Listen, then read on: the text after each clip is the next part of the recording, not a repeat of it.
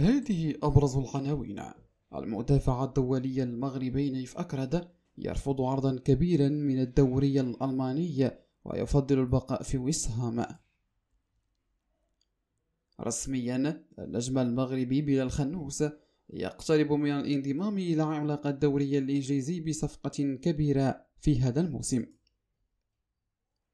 الفحوصات الطبية تحدد مصير الدولي المغربي عبد الرزاق حمد الله في المشاركة في المباراة الجولة الثانية مع فريقه في دوري روشن. رسميا نادي ماميلودي داونز الجنوب الإفريقي يعلن رحيل نجمه المغربي عبد المنعم بوطويل هذا الصيف. قبل ما نبداو ما تنساش تشترك معنا في القناة وتفعل جل الجرس باش يوصلك دائما أخبار المغرب.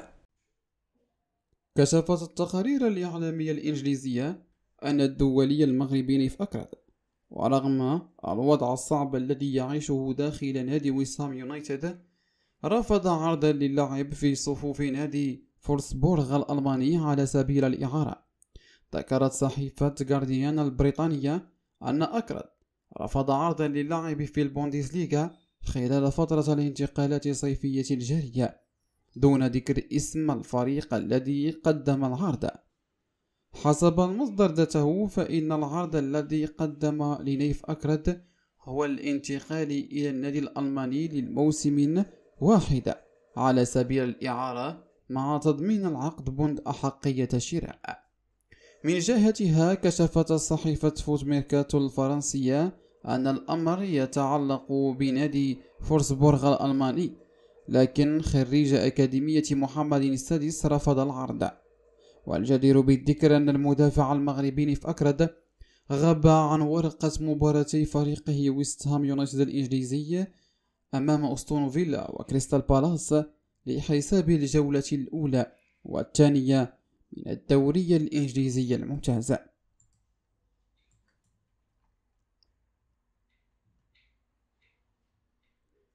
توصلت إدارة ليستر سيتي الإنجليزية لاتفاق مع الدولي المغربي بلال الخنوس متوسط ميدان نادي جينك البلجيكي قبل إسدال الستار عن فترة الانتقالات الصيفية الحالية.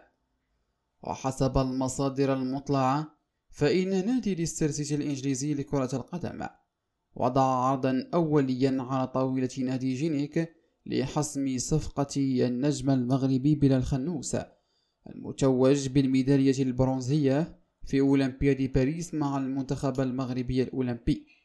لكن مسؤولي الفريق البلجيكي رفضوا العرض راغبين في مبلغ أكبر من أجل تصريحها أوضح المصدر نفسه أن الاتصالات جديدة جمعت مسؤولي نادي ليستر سيتي الإنجليزي بنظرائهم في جينيك البلجيكي. وتم تحسين العرض الإنجليزي إذ بلغ حوالي 18 مليون يورو ومليون يورو كإضافات للتعاقد مع الدولي المغربي بلا الخنوس.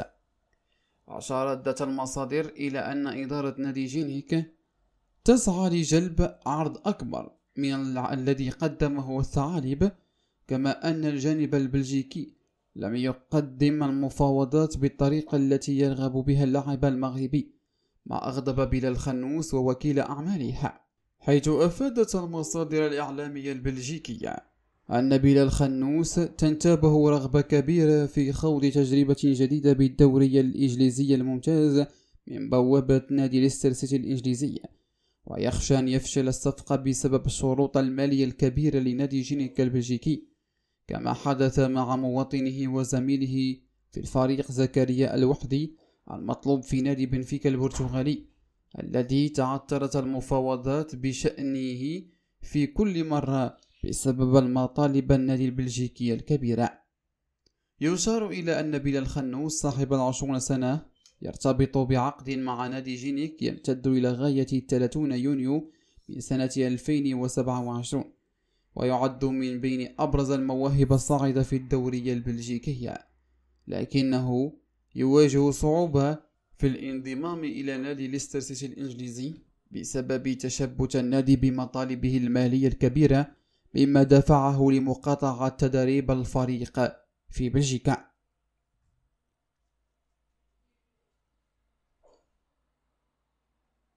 من المرتقب أن يجري الدولي المغربي عبد الرزاق حمد الله فحوصة طبية دقيقة. لتحديد مصير مشاركته مع ناديه الجديد الشباب السعودي في الجولة الثانية من دوري روشن السعودي للمحترفين أمام الخليج وأول مباراة له بقميص الشباب.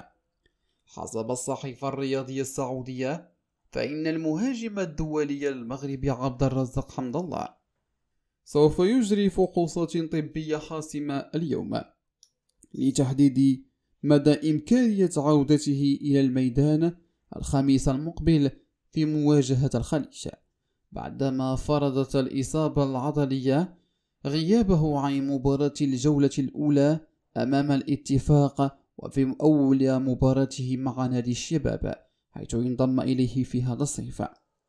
كانت التقارير السابقة تحدثت عن غياب الدولي المغربي عبد الرزاق حمد الله إلى غاية نهاية الأسبوع المقبل في انتظار الكشف عن مدى تجاوبه مع العلاج. وما إذا كان يستطيع العودة بشكل أسرع للمشاركة في المباراة الشباب المقبلة. يسعى عبد الرزاق حمد الله إلى ترك بصمة الهجومية المعهودة في ناديه الجديد الشباب بعد تألقه سابقا بقميص النصر والاتحاد السعوديين.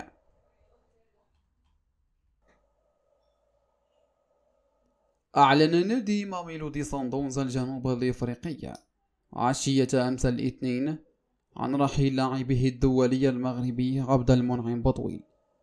نجح اللاعب المذكور عبد المنعم بطويل في فسخ عقده مع نادي الجنوب الإفريقي ماميلودي صندونز تمهيدا لتوقيعه في كشوفات الفريق الوداد الرياضي في هذا الموسم الجديد من المنتظر أن يحل بطويل عبد المنعم نهاية الأسبوع الجاري بالمغرب للتوقيع في كشوفات نادي الوداد الرياضي على عقد يمتد لموسمين في صفقة الانتقال الحرة. كان نادي الوداد الرياضي قد من النفس من أجل ضم عبد المنعم بطويل للانضمام إلى صفوفه في هذا الصيف من أجل تدعيم تركيبة الفريق الأحمر الدفاعية وسيصل عبد المنعم بطويل نهاية الأسبوع الجاري إلى المغرب من أجل تمهيد التحاقه بصفوف الوداد الرياضي علمت المصادر أن بوطويل سيوقع بشكل رسمي في كشوفات الفريق الأحمر عقد يمتد لموسمين ويشار إلى أن عبد المنعم بوطويل انتقل رسميا إلى صفوف نادي الجنوب الإفريقي صيف سنة 2023 بعقد يمتد لثلاثة مواسم.